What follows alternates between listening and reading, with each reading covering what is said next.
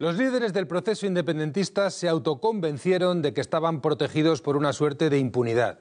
El auto de procesamiento del magistrado Llarena y la detención este domingo de Carles Puigdemont han roto esa falsa imagen.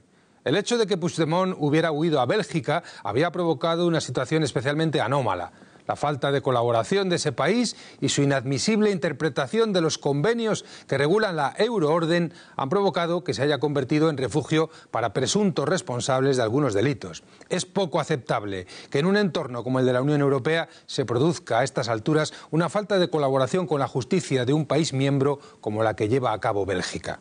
La falsa sensación de impunidad llevó a Puigdemont a viajar hasta Finlandia, país en el que le sorprendió la reactivación de la euroorden que pesaba sobre él.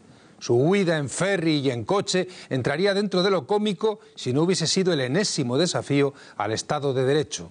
Su detención en Alemania devuelve la situación a la normalidad. Ahora la justicia seguirá su curso. A partir de este momento, el independentismo, descabezado y sin una plataforma exterior, tendrá mucho más difícil continuar con su propósito.